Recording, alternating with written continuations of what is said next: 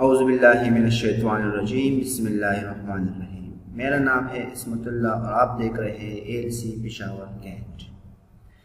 इस लेक्चर में हम डिस्कस करेंगे ग्राफिक डिज़ाइनिंग कोर्स के बारे में। ये हमारे पास एक सब्जेक्ट है डी डिप्लोमा इंफॉर्मेशन टेक्नोलॉजी में। ठीक है ये D I T part two का एक सब्जेक्ट है, जिसका नाम है ग्राफिक डिज़ाइनिंग कोर्स।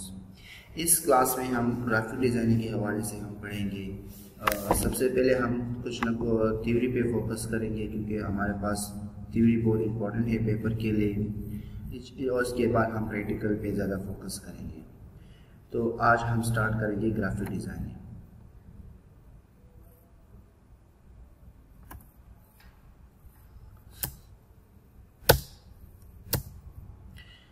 सवाल है हमारे पास what is graphic designing graphic designing है क्या? तो इसका डिफिनेशन मैंने लिखा है graphic designing is the process of visual communication and problem solving through the use of typography space image and colour graphic designing हमारे पास एक ऐसा प्रोसेस अमल है जो विजुअल कम्युनिकेशन करता है। मिसाल, जो विजुअल कम्युनिकेशन का मतलब है कि किसी तस्वीरों के ज़रिए या ग्राफिक्स के ज़रिए किसी के साथ बातें करना गुफ्तु करना, बातचीत करना तो उसको विजुअल कम्युनिकेशन कहा जाता है। एंड प्रॉब्लम सॉल्विंग ये हमारे प्रॉब्लम को भी सॉल्व करता है through the use of typography space image and colour ये है हमारे पास ग्राफिक डिज़ाइनिंग ग्राफिक डिज़ाइनिंग हमारे पास क्या है? एक is the process of visual communication and problem solving through the use of typography and space image and colour इस शॉर्ट्स डिफिनेशन मैंने लिखा है। ठीक है? इस एक स्लाइड हमारे पास है। अगर आप ग्राफिक डिज़ाइनिंग सीख लें, अगर आप ग्राफिक डिज़ाइनिंग कर ले तो आप इसमें क्या क्या कर सकते हैं? मसलन आप इसमें होल्डिंग साइन बोर्ड बना सकते हैं।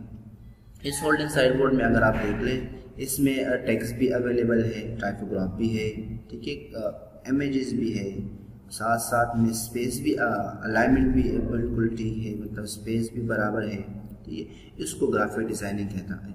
इस, इसको कहते हैं विजुअल कम्युनिकेशन इस होल्डिंग साइन बोर्ड के ज़रिए आपस में बात, लोग बातें भी करते हैं, इसके साथ कम्युनिकेशन इसके थ्रू पे कम्युनिकेशन भी करता है और लोगों को इन्फॉर्मेशन भी मिलता है. मिसाल ये एक हमारे पास ग्रीन ज़ीरो का एक कंपनी है, इसका जो प्रोडक्ट है ये लोगों को विजुअल थ्रू विजुअल के थ्रू मतलब पिक्चर के थ्रू पे अपना एडवर्टाइजमेंट करता है, अपना प्रोडक्ट का एडवर्टाइजमेंट करना चाहता है तो क्या करता है, वो एक बड़े होल्डिंग साइन बोर्ड बनाते हैं और फिर एक बड़े जगह पे वो लगाता है जहाँ पे लोग ज़्यादा मतलब जाते हैं या आते हैं तो वहाँ पे लगाते हैं। इसको होल्डिंग साइन बोर्ड आप आप इस सॉफ्टवेयर में मतलब इस कोर्स में ये बड़े बड़े होल्डिंग साइन बोर्ड भी आप बनाएँगे।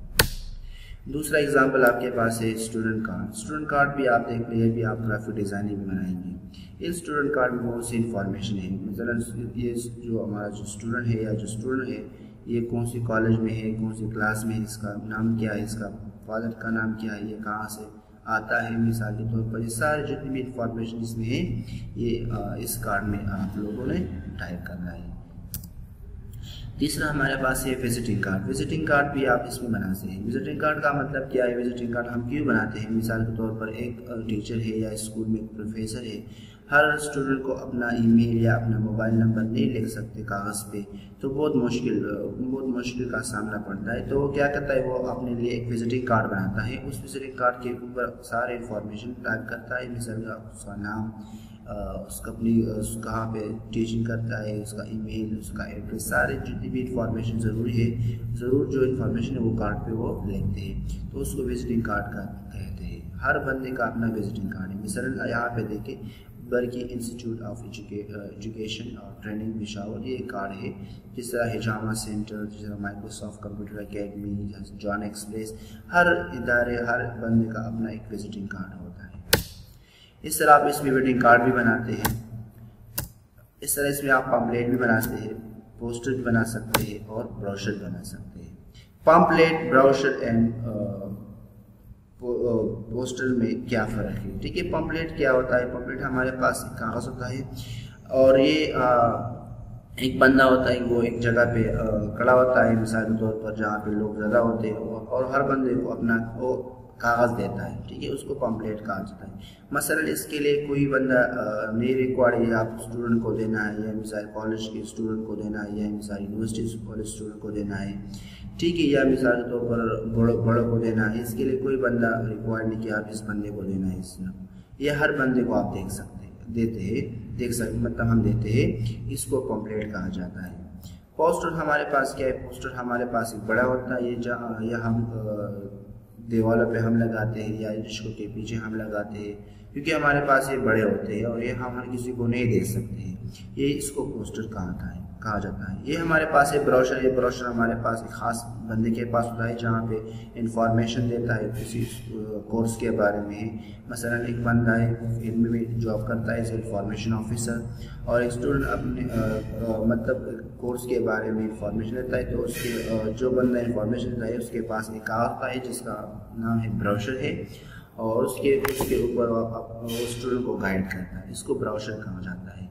मसलन एक चार पाँच फ्रेंड है और एक कोर्स में एडमिशन करना चाहता है तो वो बंदा जो इंफॉर्मेशन ऑफिसर है, वो एक ब्रोशर लेगा और उसके ऊपर सबको इंफॉर्मेशन देगा और एक, फिर एक, सबको एक कागज़ देगा। ठीक है? तो ये क्यों हमारे पास एक महँगा होता है हमारे पास हर किसी को हम नहीं देख सकते नहीं दे सकते? तो इसलिए ये हम, इसको ब्राउशर कहा जाता है।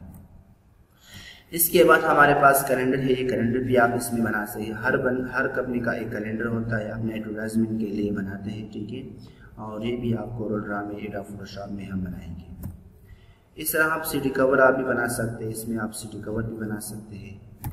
इन्वलप भी आप इस पर बना सकते हो। आप लोगों ने देखा होगा बड़े बड़े शॉपिंग मॉल बड़े बड़े जो दुकान है, वो अपने अपने लिए एक शॉपिंग शॉप पर बनाता है। उसके ऊपर कुछ ना कुछ टेक्स्ट कंपनी का नाम मोबाइल नंबर एड्रेस लगाता है। और फिर क्लाइंट को उसके अंदर कोई सामान को सेट करता है उसको देता है। इस तरह इन्वलप आप देखें इन्वलप हमारे पास कहाँ पे हम लेते हैं, जहाँ पे आप जॉब करते जहाँ वहाँ पे आपको सैलरी मिलता है। तो फॉर्मल तरीके से आपको एक इन्वलप के अंदर आपको सैलरी देता है। तो ये भी हमारे पास क्या है कि एडवर्टाइजमेंट के लिए एडवर्टाइजमेंट कंपनी का भी होता है और एक फॉर्मल तरीका भी है। इस तरह हमारे पास टी शर्ट डिज़ाइनिंग हमारे पास इसमें भी हम